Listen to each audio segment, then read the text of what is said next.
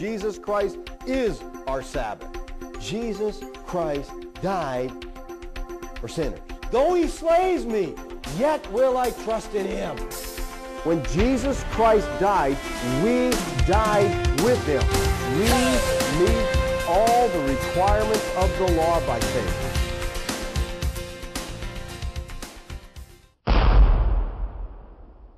Today we're going to be looking at the book of 1 Samuel, one of the best, probably one of the most well-known stories in 1 Samuel, and that's the battle of David and Goliath.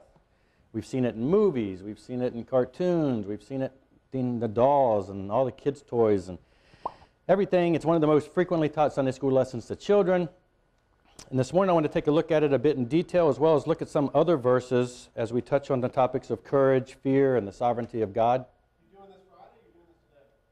I'm doing it Friday, so just ignore that. So. Um, I can fix, no, I can't fix it. Never mind. We're in the wrong mode. Sorry about that. Uh, I must have been putting this slide together Friday. Anyway, so let's take a look at 1 Samuel. I've, I've kind of slightly edited it or re really rearranged it to, to keep it in, in certain order as we are going through it. Now the Philistines gathered their armies for battle, and they were gathered at Socoh, which belongs to Judah, and encamped between Socoh and Azekah in Ephes Dammim. These great Old Testament words. And Saul and the men of Israel were gathered and encamped in the valley of Elah, and drew up a line in line of battle against the Philistines. And the Philistines stood on the mountain on one side, and Israel stood on the mountain on the other side, with the valley in between them. And there came out from the camp of the Philistines a champion named Goliath of Gath, whose height was six cubits and a span. So we can see the scene here. We've got two mountains, valley in between. You got Israel on one side, Philistines on the other. And out comes this man, this giant. Said he was six cubits and a span. Now, they say a cubit is a measurement of the distance from your middle finger to your elbow and so therefore it can be anywhere roughly between 17 and 22 inches. A span, they say, is roughly 9 inches and is the measurement from the end of your thumb to the end of your pinky when you expand your hand out. So, uh, Goliath is said to have stood anywhere between roughly 9 foot 3 and some say as high as 11 foot 9. Uh, most people guesstimate him to be in the, in the 9 foot range, somewhere in that area. Now, this may sound pretty crazy to us these days, but back in that day it was not so out of the ordinary. For even secular historians back in the day, like Herodotus and Diodorus Siculus and Pliny, these are some of the other strange writers back then, they wrote of persons as high as seven cubits, making them pretty much twice the size of a normal average height of a human. Now, as a, leaders, as a leader of the armies of Israel, the description of Saul places him as a very tall man himself. See, I was not doing the buttons like I should, so let me just catch up here. Saw a handsome man, young man, who was not a, there was not a man among the people of Israel more handsome than he, for from his shoulders upward he was taller than any of the people. So Saul was not only one of the most handsome of men at the time, but was also the tallest among them of Israel, not obviously of the Philistines.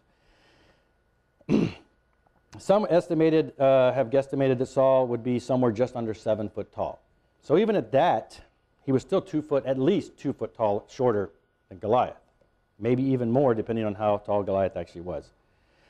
Still, you would think of all the men of the army, Saul would still be the best to fight Goliath. He's the tallest one, so he should stand up. The verse continues telling us more about this giant. He had a helmet of bronze on his head and he was armed with a coat of mail, and the weight of the coat was 5,000 shekels of bronze. And he had bronze armor on his legs and a javelin of bronze slung between his shoulders. The shaft of his spear was like a weaver's beam, and his spear's head weighed 600 shekels of iron, and his shield bearer went before him. So we are given a description of what his armor was like, and we find it pretty impressive indeed. A bronze helmet and a coat of mail armor, which weighed, they say, approximately 78 pounds when we convert it. Because of his height, his legs would have been one of the most vulnerable parts, so he had them co- covered with bronze armor also. Strapped to his back, between his shoulders, similar to a quiver of arrows, was a spear that was the size of a beam. Now, we don't know exactly what that is, but I think of a beam as like a 4 by 4 Could have been smaller. and the head of it weighed about 17 pounds. And with all the armor and his great size, the narrative continues by saying, He stood and shouted to the ranks of Israel, Why have you come out to draw up for battle? Am I not a Philistine, and are you not servants of Saul? Choose a man for yourselves and let him come down to me. If he is able to fight with me and kill me, then we will be your servants. But if I prevail against him and kill him, then you will be our servants and serve us. And the Philistines said, I defy the ranks of Israel this day. Give me a man that we may fight together. And when Saul and all Israel heard these words of the Philistine, they were dismayed and greatly afraid. For forty days the Philistine came forward and took his stand, morning and evening. I go back.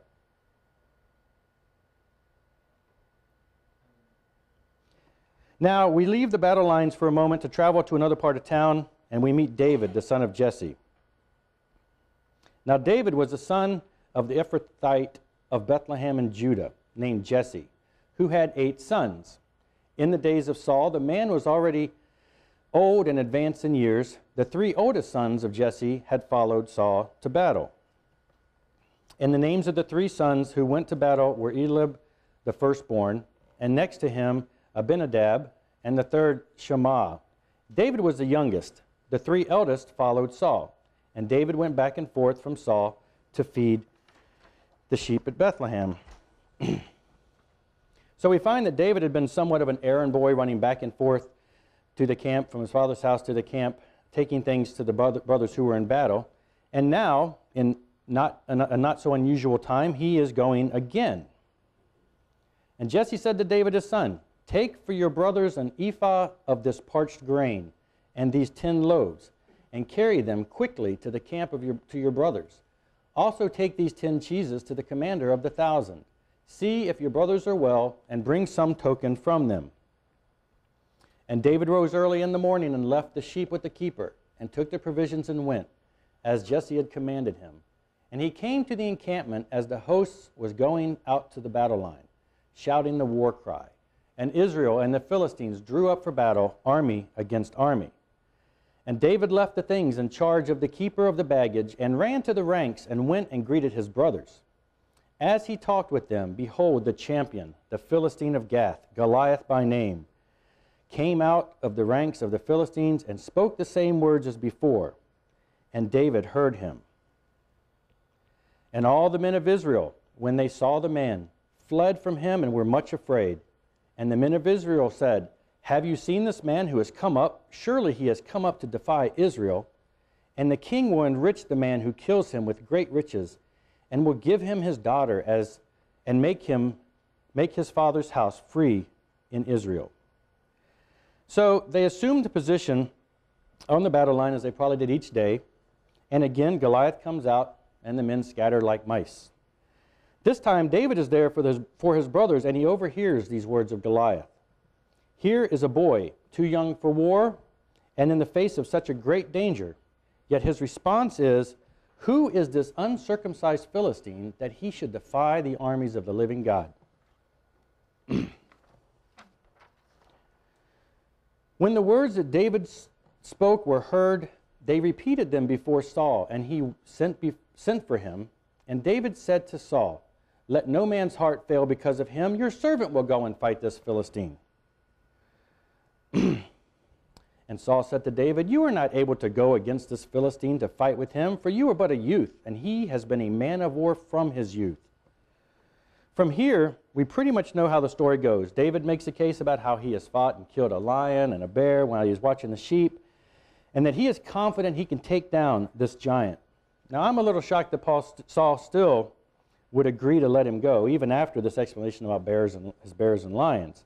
But I guess the thrust of the words that helped convince Saul was when David said, Your servant has struck down both lions and bears, and this uncircumcised Philistine shall be like one of them, for he has defied the armies of the living God. The Lord who delivered me from the paw of the lion and from the paw of the bear will deliver me from the hand of this Philistine. And Saul said to David, Go, and the Lord be with you. It seems a bit shocking still that King Saul, the largest man in the company, with the very freedom of his own nation on the line, would still feel comfortable putting all of that at stake in the hands of this young boy. The story continues as we find David couldn't find suitable armor, nothing would fit him that was uh, suitable for that. So he takes his staff, a sling, and five smooth stones in his pouch. Goliath approaches, laughs, mocks, and curses at David. Then it is David's response that should be the battle cry for all of us when we are faced with overwhelming odds. Then David said to the Philistine, You come to me with a sword and with a spear and with a javelin, but I come to you in the name of the Lord of hosts, the God of the armies of Israel, whom you have defied. This day the Lord will deliver you into my hand, and I will strike you down and cut off your head.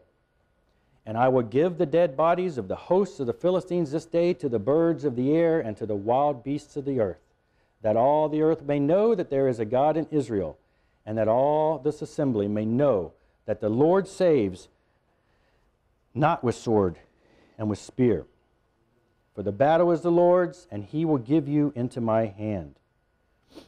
And of course, we know that he was triumphant, and indeed he took down the giant. So here's a young boy takes on an overwhelming obstacle based solely on his faith and trust in the protection of the Lord. He knew that if the Lord had given him victory as he stood against alone against a lion and a bear, in a situation where the name and reputation of the Lord was not even at stake, that surely he would, he would bring victory when it was under attack.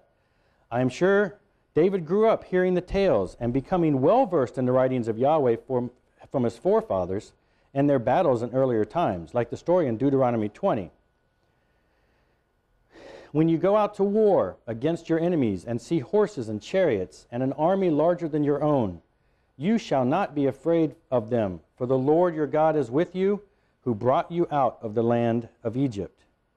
And when you draw near to the battle, the priest shall come forward and speak to the people, and shall say to them, Hear, O Israel, today you are drawing near for battle against your enemies. Let not your heart faint. Do not fear or panic or be in dread of them. But the Lord your God is he who goes with you to fight for you against your enemies to give you this, the victory. Then there's the story of Gideon from the book of Judges when God made it especially clear that the battle was not to be won by him, but would, be won, would not be won by Gideon, would, but, but, but by, by Lord himself. When they came up against the Midianites, the army of Gideon numbered 22,000 troops. The Lord said to Gideon, The people with you are too many for me to give the Midianites into their hand, lest Israel boast over me, saying, My own hand has saved me. So Gideon told the people that whosoever was fearful, they should return home. And about 12,000 people departed, leaving the army down to 10,000. Guess there was a lot of scared people that day. And the Lord said to Gideon, The people are still too many. Take them down to the water, and I will test them for you there. And anyone of whom I say to you, This one shall go with you, shall go with you. And anyone of whom I say to you, This one shall not go with you, shall not go. So he brought the people down to the water. And the Lord said to Gideon, Everyone who laps the water with his tongue, as a dog laps, you shall set by himself. Likewise, everyone who kneels down to drink. and the number who, of those who lapped, putting their hands to their mouths, were, was 300 men. But all the rest of the people knelt down to drink the water. And the Lord said to Gideon, With the 300 men who lapped, I will save you and give the Midianites into your hand, and let all the others go, every man to his home. So with 300 men, Gideon went out and chased down the Midianites and destroyed them. The Lord had fought for his people numerous times in the past, with one of the largest, of course, when he brought them out of Egypt. Surely these stories were probably quite well known amongst all the tribes. Though one should question why Saul and those in the army did not have the same type of faith as David. Why was it that there was not one godly, confident man amongst them in the entire army that was willing to stand up in the name of the Lord. Of course, in reading the entire book of Samuel up to this point, you can see that their past had recently been filled with idolatry and all kinds of craziness. They had even, you know, demanded to have a king, which is why Saul's in place. So they had done things that the Lord had told them not to do. And uh, so they had been pretty struggling up to this point. So I guess it's not too far, too hard to see that they're not too far from being having a disastrous past there. Now, when we consider David and his actions, we must remember why David took the actions to begin with. Author David uh, Peter Leithart states it like this Though the story of David and Goliath is popularly known as an example of a great underdog triumphing over great odds, the accent in the Bible biblical account is not on David's heroism or his glory. Of course, he did receive honor as the women sang his praises on his return from battle in verse 18 in chapter 18 verse 7. But David's heroism was not like the heroism of an Achilles or an Odysseus. David did not fight because his honor had been violated, but to vindicate the honor of the Lord. David knew that you're not supposed to go to that slide. David knew that his Lord was all powerful and sovereign over all men, even the giant, and that while the Lord had the power to strike down the giant where he stood, without the aid of men, there are plenty of, plenty of stories in the Old Testament where the Lord required man to be faithful and act and he would then grant them the victory. For the people of God, these things were not left up to chance, and they lived in the comfort of that in their faith. Since the time of David, we have additional stories of how the Lord has continued to do battle, like in 2 Chronicles 20. And he said, Listen, all Judah and inhabitants of Israel, of Jerusalem, I'm going to a different place, and King Jehoshaphat, thus says the Lord to you, Do not be afraid and do not be dismayed at this great horde, for the battle is not yours, but the Lord's, but God's. there are but a, these are but a few examples of the great and powerful sovereign Lord that Christians everywhere, even today, worship and follow. However, in today's age and in today's age, acknowledging the sovereignty of God in all things is so misunderstood, ignored, or even outright denied and disbelieved. And so we find a church that is weakened and crippled by fear. Now, this morning, I'm not going to go into a long discussion to prove the sovereignty of God because we know David pounds that into us pretty much every week. So I'm not going to rehash that now. I simply wish to discuss some of the effects of having and not having that type of faith in the sovereignty of the Lord. The scriptures tell us much about fear, and we are exhorted time and time again to cast out fear. Fear is a big enemy to the people, and it is fear that causes us to often ignore our duty and hope that someone else steps up to do it for us. There is only one kind of fear we should be striving to have, and that is the fear that will dispel all other fears and keep all things in a proper perspective. That one is the fear of the Lord.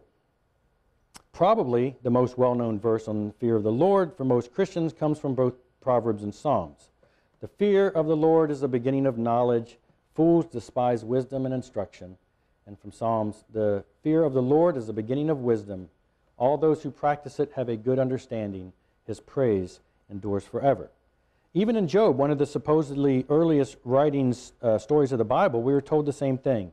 And he said to the man, Behold, the fear of the Lord, that is wisdom, and to turn away from evil is understanding.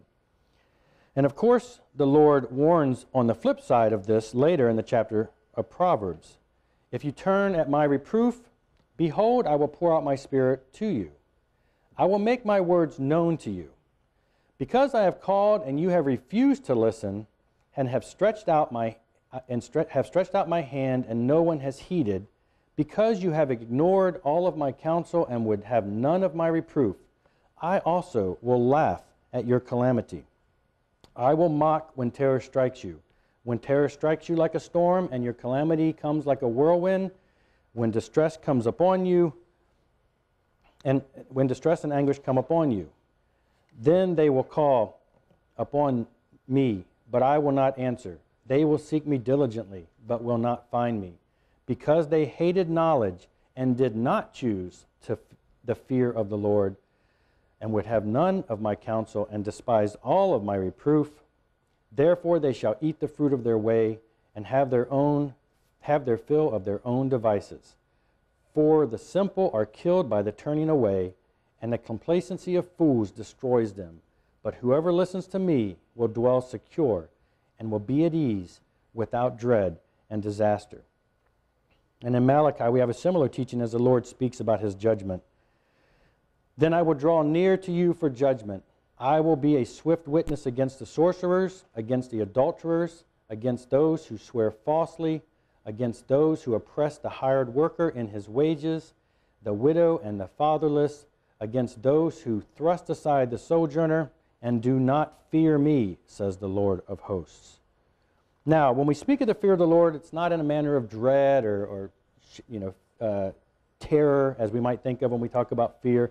It's, uh, the word fear comes from a noun which is similar to the word reverend. So basically, fearing the Lord is to reverence Him, to worship and acknowledge Him as the one true Lord. Fearing the Lord in this manner produces love, because we know that the Lord is on our side and protects the ones who revere and honor His name. We see in the First Testament, following, following after the declaration of the law of God in Deuteronomy 5, that the people are told, You shall love the Lord your God with all your heart and with all your soul and with all your might, and these words that I commanded you today shall be in your heart. Take care lest you forget the Lord, who brought you out of the land of Egypt, out of the house of slavery. It is the Lord your God you shall fear, him you shall serve, and by his name you shall swear. the people were to love and obey the one true Lord, and in the same breath, they should fear him. So, love and fear are not so far apart that they cannot be reconciled, but in fact, they should flow from one another when it comes to the Lord. If we love and fear him alone, what else have we to fear? In Kings, we see that the people are exhorted again to this reverence and worship. But you shall fear the Lord, who brought you out of the land of Egypt with great power and with an outstretched arm. You shall bow yourselves to him, and to him you shall sacrifice. The people are to worship and give reverence, reverence only to the Lord, for he has done mighty works with them. The Lord promises peace to the nation if they continue to fear the Lord. If you will fear the Lord and serve him and obey his voice, and not rebel against the commandment of the Lord, and if both you and the king who reigns over you will follow the Lord your God, it will be well. In the ancient world, there were many gods worshipped by the surrounding nations, and throughout the scriptures, we see that there are exhortations to give fear and reverence to only one God, and that is Yahweh our Lord. The First Testament is filled with this reverential fear that he that is, brings to the people. But you shall fear the Lord your God, and he will deliver you out of the hand of all of your enemies. The friendship of the Lord is for those who fear him, and he makes known to them his covenant. Behold, the eye of the Lord is on those who fear him, on those who hope in his steadfast love, that he may deliver their soul from death and keep them alive in famine. But the steadfast love of the Lord is from everlasting to everlasting on those who fear him. So, what can we imply from this last verse? The steadfast Lord, steadfast love of the Lord is from everlasting to those who fear Him. Does that mean that to those who do not fear Him, His everlasting love is not to them? But I thought God loved everyone. That is what most ch- churches teach us, it seems. But I won't go into that path at this point because that could be a whole other sermon. So let's just look at a couple more verses from the, these also from the book of Proverbs. The fear of the Lord prolongs life, Proverbs 10:27. The fear of the Lord is a fountain of life that one may turn away from the snares of death. Proverbs 14:27. The fear of the Lord leads to life, and whoso and whoever has it rests satisfied. He will not be visited by harm. Proverbs 19:23. The reward for humility and fear of the Lord is riches and honor and life. Now, with all the health and wealth, name it, claim it, market, park it preachers out there, they claim that God wants you to be rich. I just wonder how many of them have ever connected their richness to the humility and fear of the Lord that we see here in Proverbs. As I just said, most churches teach nothing but the love of God and rarely teach on what it means to fear God. Now, admittedly, there are plenty of still hellfire and damnation type preachers out there pounding the pulpits, but that's not the type of fear that I'm talking about at this point. But generally, the mainline preachers only teach about love, love, love of God, and never about any aspect of fear. After all, God is not to be feared, for He is the one providing everything we have. And it's the devil who is out to get us at every turn, they say. So they blame every bad thing on Satan and attribute every good thing only to God.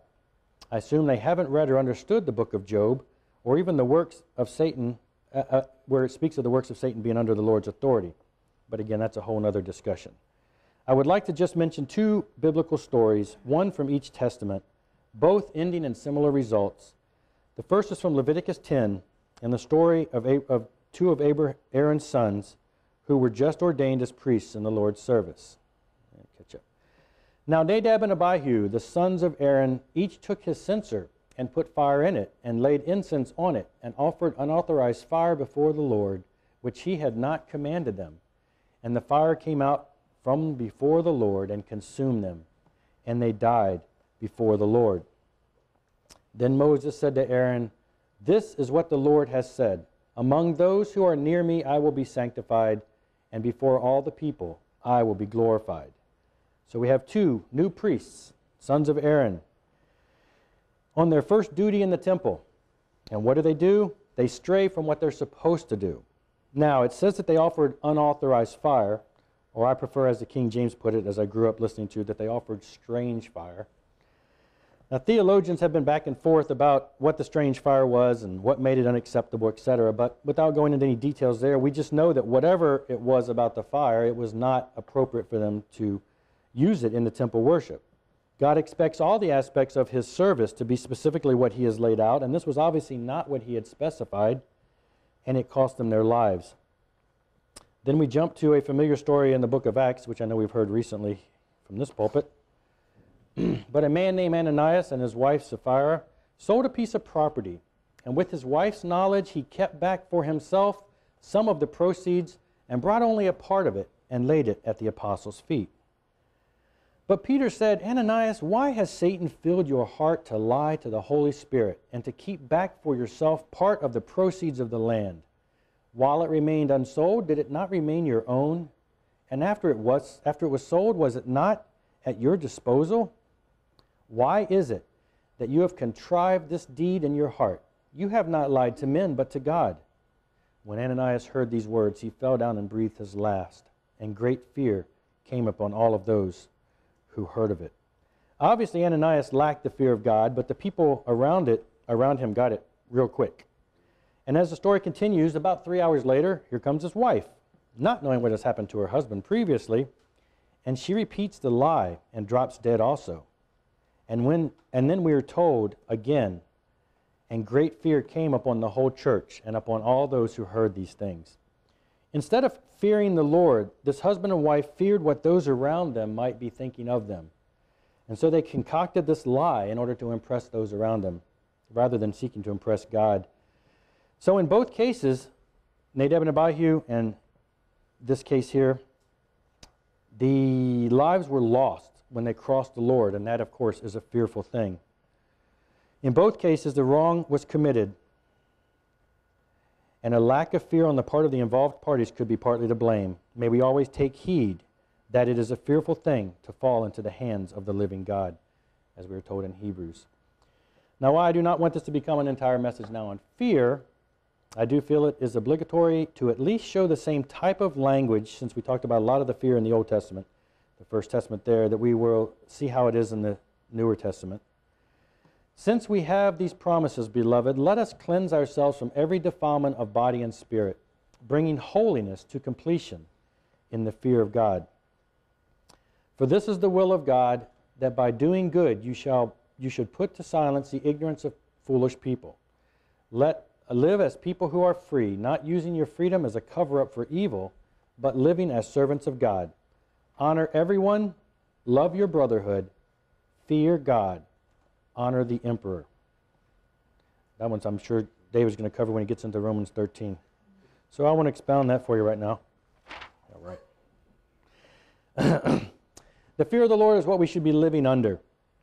Fear that drives us to reverence, awe, and love and a worship of the one true Lord. Fear that knows we serve the Lord that rules over all mankind. over the actions of everyone from rulers down to animals.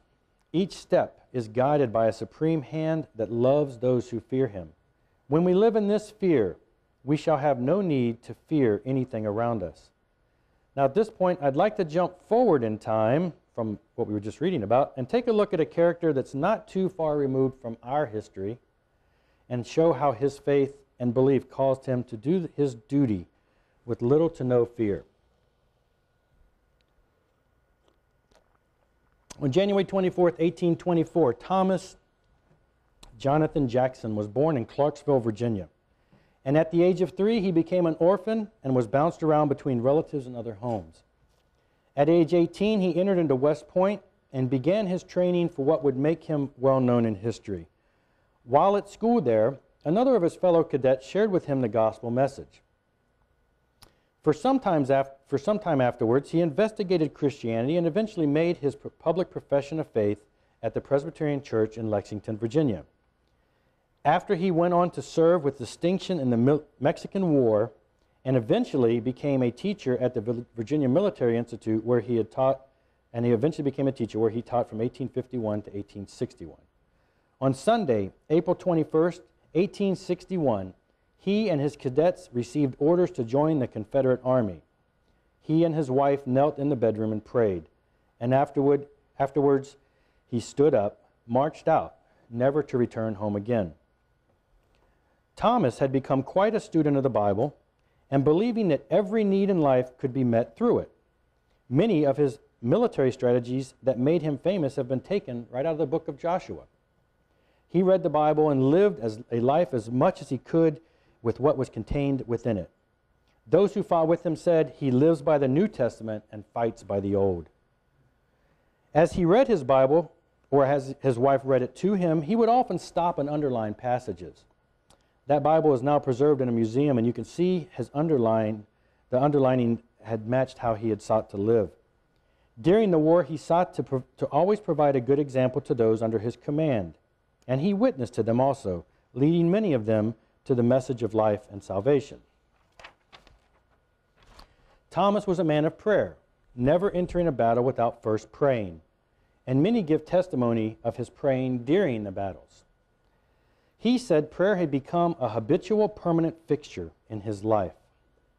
Thomas had a strong, unshakable belief in the sovereignty of God, that God is always in control, even when it seems the world around us is falling apart.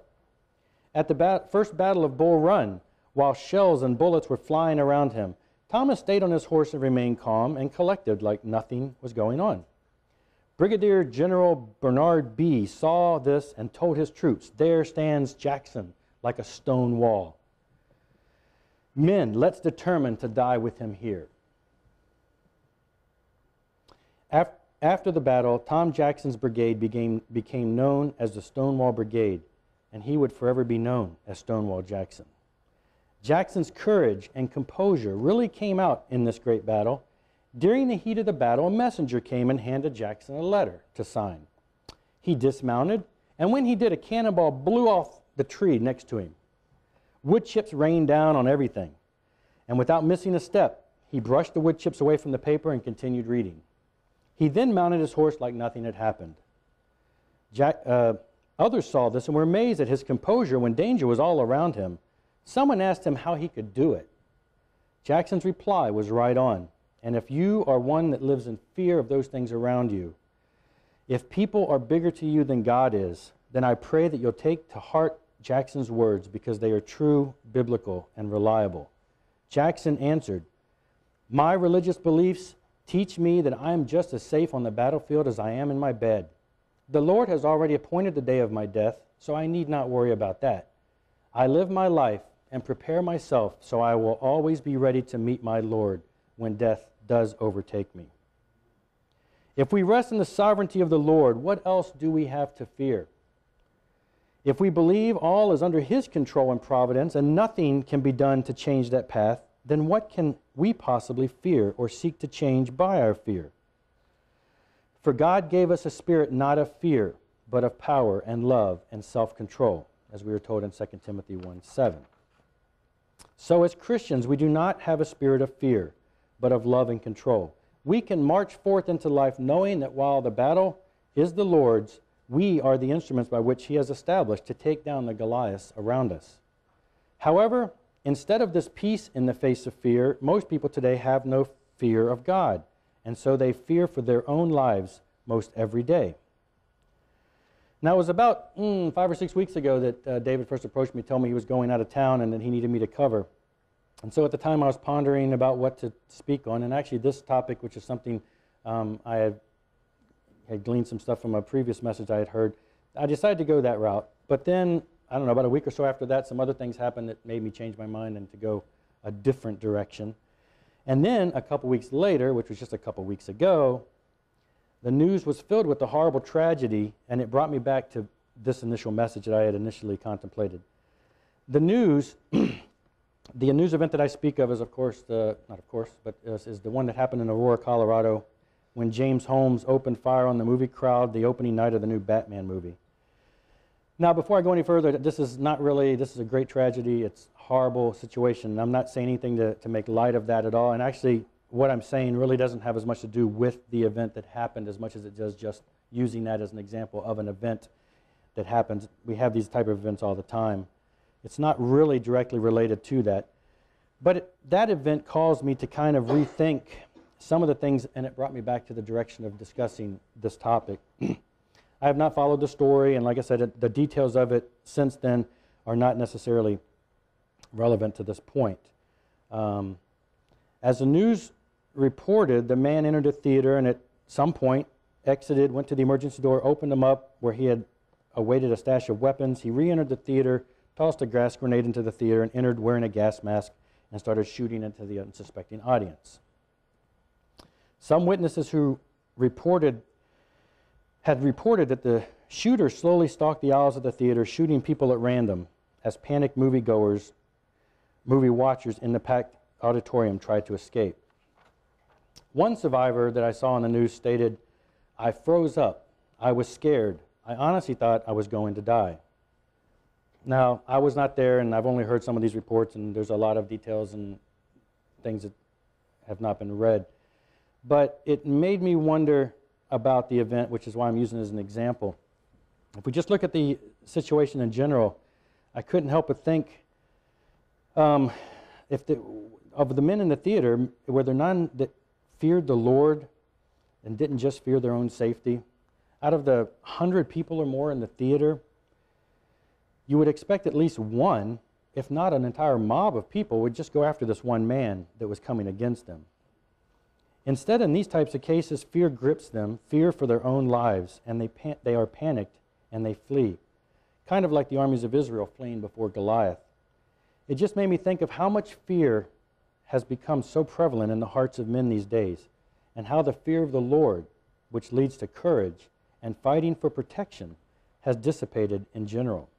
I mean, you hear the stories in years gone past of the bravery, and you still hear stories of bravery. It's not knocking that; people still risk their lives. But you know, it's maybe it's just a, it's the stories from our the storybooks of old where you hear the people standing up and fighting for their rights, and just you know, tales of bravery. Seems like we don't have as many of those.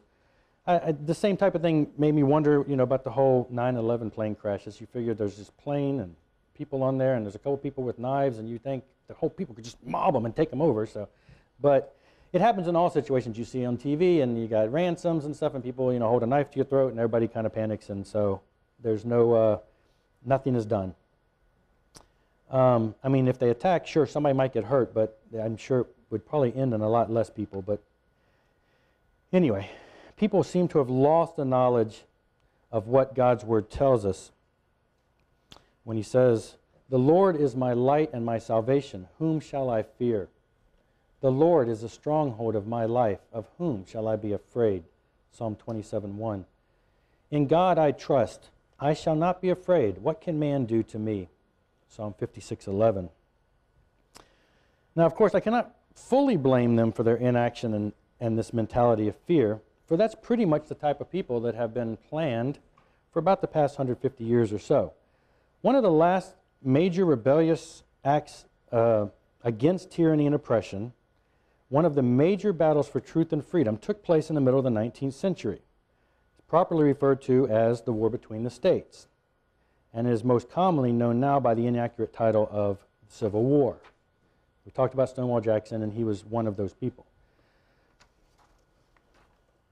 Following the war, the government thinkers and humanistic educators knew that in order to prevent a future war of such magnitude, where the people would take up arms and fight against a government tyranny, the government of tyranny, they needed to weed out the spirit of truth and justice and to replace it with submission and passivity in the people. The way they sought out to do this was through compulsory state education systems. You see, up until then, little, up until a little while before that time, our country did not have any state sponsored public schools. In the 1620s, when the Pilgrims and Puritans came to the country seeking religious freedom, they were products of the Protestant Reformation. So, for the roughly 220 years from 1620 to 1840, American education had a distinctly moral character and stemmed from an almost entirely Christian and Calvinistic orientation. In America, education was seen as always including religious principles. And we find plainly stated in the definition as we find plainly stated in the definition of the word education as found in the first American dictionary, which was Noah Webster's 1828 edition.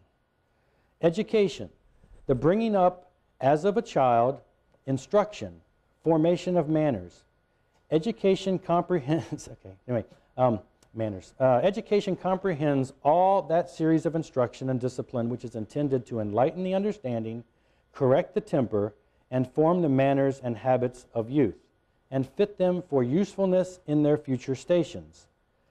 To give children a good education in manners, arts, and science is important. To give them a religious education is indispensable and an immense responsibility rests on parents and guardians who neglect these duties. The reformer Martin Luther, even back in his time and country, plainly stated, I am much afraid that schools will prove to be great gates of hell unless they diligently labor to explain the Holy Scriptures, engraving them in the hearts of the youth. I advise no one to place his child where the Scriptures do not reign paramount. Every institution in which men are not increasingly occupied with the Word of God must become corrupt. Luther's sentiment is what the American settlers held to in their thoughts on education. Even the early American colleges, like Harvard, were started and based upon orthodox Christian principles. Harvard's original mission statement was let every student be plainly instructed and earnestly pressed to consider well the main end of life and studies that the main end of life and studies is to know God and Jesus Christ, which is eternal life, and therefore to lay Christ at the bottom as the only foundation of all sound knowledge and learning. Even Daniel Webster, not to be confused with Noah Webster, who I just quoted from the dictionary, he was a politician that was admired for about 40 years back in the, he was a politician for 40 years back in the early 1800s. He said, In what age, by what sect, where, where, when, and by whom has religious truth been excluded from the education of youth? Nowhere, never, everywhere, and at all times it has been and is regarded as essential. It is of the essence, the vitality of useful instruction. The great Southern Presbyterian theologian Robert Lewis Dabney, who served as one of the chaplains under the army of Stonewall Jackson for a time, said this at the time when the public education system was beginning to rear its ugly head in the States. The Yankees have had this nostrum of free school education in full force for two generations. Now, nostrum, for those who don't know that, it's a term that they used to mean it was a medicine that was sold by false or exaggerated claims and had no demonstrable value, or it was considered to be quack medicine. So he's saying that the education is quack, not even, not true, not valid. Did not this very system rear up that, that very generation which, in its blind ignorance and brutal passion, has recently wrecked the institutions of America, has filled our country with destitution, woe, and murder, and with a stupid blindness only equaled by its wickedness, has stripped its own commonwealths in order to wreak its mad spite on ours of the whole safeguards for their own freedom and peace. These are the fruits of this Yankee system of state primary education. Nothing against you Yankees, I'm sorry. That's what he said. Anyway. I, I have not yet learned enough of this type of intelligence, which this system seems to foster, to repudiate my Savior's infallible maxim the tree is known by its fruit. so Dabney sees that because of the state education system in the North prior to the war, it had, it had been in the northern states for many years, or for at least a generation, that that whole generation of people rose up to fight a war that destroyed much of the foundations of America's values. Of course, the sentiment, this sentiment is further enforced when we consider a conversation that was had between Daniel Webster, who I just mentioned, and two Virginians. This was years before the war. The story is related by Dabney, where he states, I don't think I have in here. Webster's return towards an impartial cour course has gained him some respect in the South, and my two friends said had paid respects to him. While conversing with them, he fixed his dark eyes on them and with great earnestness asked, Can't you Southern gentlemen consent with some sort of inducement or plan to surrender slavery? They replied, firmly, Not to the inter interference or dictations of the federal government. And this not on account of mercenary or motives, but because to allow outside interference in this vital manner would forfeit the liberties and other rights of the South. Webster said, Are you fixed in that? They replied, Yes, unalterably. Well, he said with an awful solemnity, I cannot say you are wrong, but if you are fixed in that, go home and get ready your weapons. They asked him, What on earth did he mean? He replied, That the parsons and the common school teachers and school marms had diligently educated an entire northern generation into a passionate hatred of slavery, and who would, as, certain as, as certainly as destiny, attack Southern institutions. So that if Southern men were determined not to surrender their institutions, they had better prepare for war. Thus, according to Mr. Webster, the crimes, woes, and horrors of the last 15 years of the war between the states are all partly due to the school system. Many of the great minds behind the indoctrination system felt that it was the difference in the education level between the classes of men that caused great evil in the world, and that if the education of the masses was more leveled, it would remove evil from society. European scholar George Hegel and Scotsman Robert Dale Owen, often referred to as the father of socialism, came in with a whole new idea for education. They believed that the basic tenets of the Christian religion hindered man's evolution. Some in this camp believed that with the proper education and the eradication of religion, man could evolve to eliminate the evil in the world. A colleague of Owen states the following, and I haven't kept up with this. The great object was to get rid of Christianity and to convert our churches into halls of science. The plan was not to make open attacks on religion, although we might belabor the clergy and bring them into contempt where we could, but to establish a system of state, or we say national, schools, from which all religion would be excluded and to which all parents were to be compelled by law to send their children. By the turn of this century, actually it would be last century now that I think about it, because now we're in the new century. By the turn of the 1900s, these fellows had in heavily influenced American educators like John Dewey and his colleagues. They sought to change America through public education.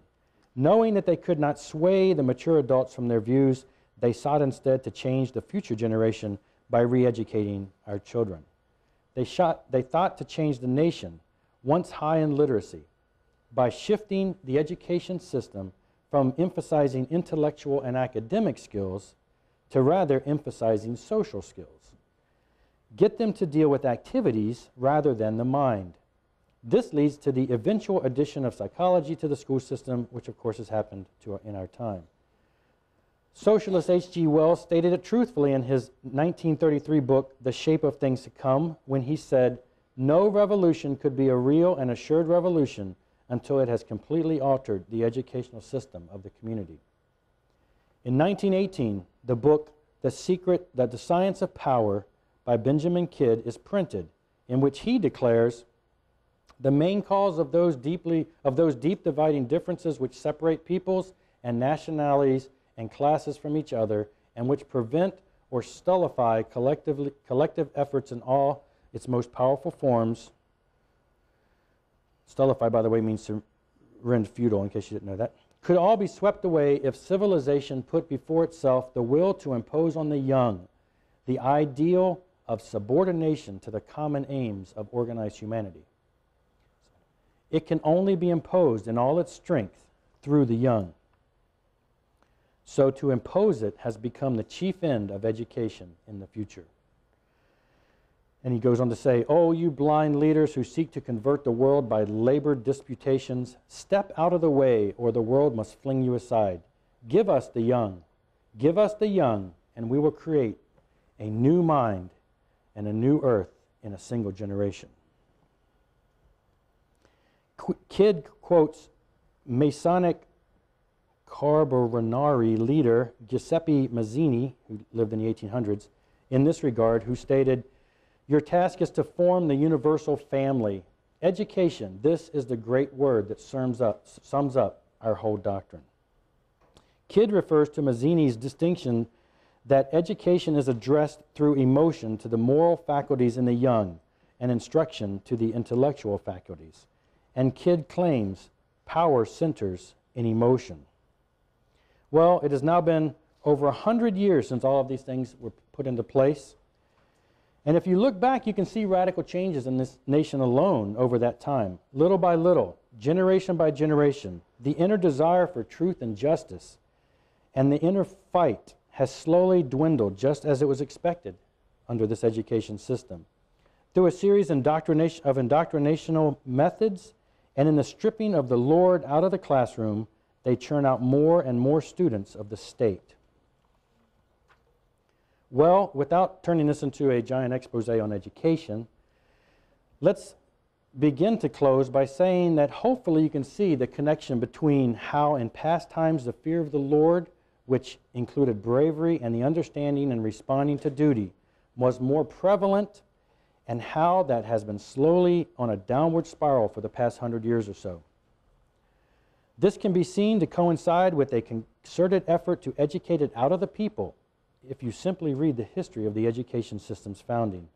And for all intent and purposes, it, has, it is fair to say that they have succeeded in their goal, turning more and more Americans into sheep that can be led around, never questioning the moves or motives of the leaders, never calling them to, into account, and of course, never rebelling or taking action against them. This education has also removed the words of God from the lives of men, and instead of being an integral part of education as it should be,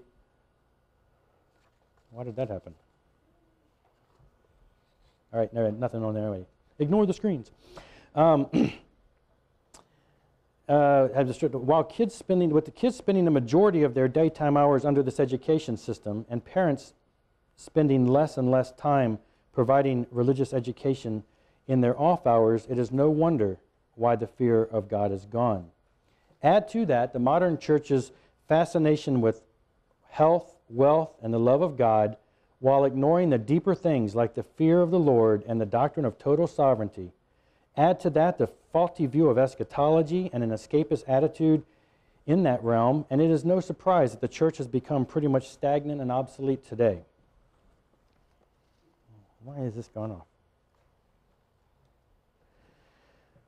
reports show that uh, more and more people who have been regular attendees in church for many years are leaving the organized church each year. And more and more children who are brought up in Christian homes leave the faith entirely by their college years. Most churches have an average sermon length of about 20 minutes. So the people get pep talks avoid, devoid of any substance or teaching, and with less and less people engaging in reading of great theological works or even their very own Bibles, it's no wonder the church is in the state it's in. Oh, the computer got too hot. Why do I do that? Anyway. All of that combined produces a generation more ignorant and fearful than the last, creating more people who are easily herded where needed and rarely question or push back against injustice and wickedness in our own lives, society, or government. This was all by design. And as long as Christians support this free education system, it will continue to be the case. As long as Christians refuse to read their own Bible and dig into it, this will continue to happen. As long as Christians put up with mediocre churches that teach little to nothing about the depths of the whole Bible, this will continue to be the case. As long as Christian parents leave it solely up to the school or to the church to provide their children with religious training, this will continue to be the case. So, in closing, we need to consider first that as Christians who follow a living God, we have not been given a fear. We've not been given a spirit of fear, but I didn't want to do questions yet. Get over there. Not been given a spirit of fear, but one of security and reliance in our sovereign Lord. Our duty is to stand up against whatever Goliath comes forth in our life, standing for truth, justice, and in love for others, and make sure that we teach that to our children. But they, for they will not get it anywhere else. When we come up against an obstacle, we are not to turn in fear, but we are to do as our do, do our duty and to rest assured that whatever the outcome, it was all we could do because the battle is not ours, the battle is the Lord's. Now, then, let the fear of the Lord be upon you. Amen. Let's pray. Father God, we thank you for this day. We pray, Lord, that you would bring about change in the lives of your people all across the nation, that you would have them to honor, fear, and stand in all of your greatness, your sovereignty, and the love that you share. But Lord, help us always to have a well rounded theology of understanding your attributes. We pray that you would help us this day, Lord, to take what we have heard, take the uh, stories we've heard from the voice of the martyrs, and just apply it all to our lives, Lord, that we would read your word, that we would teach it to those around us, that we would teach your people and our children, that we would instill in them the fear of thee, and that you would help us to restore that balance that is needed in all of our lives, Lord. Help us to honor you in all that we do. We pray in Jesus' name.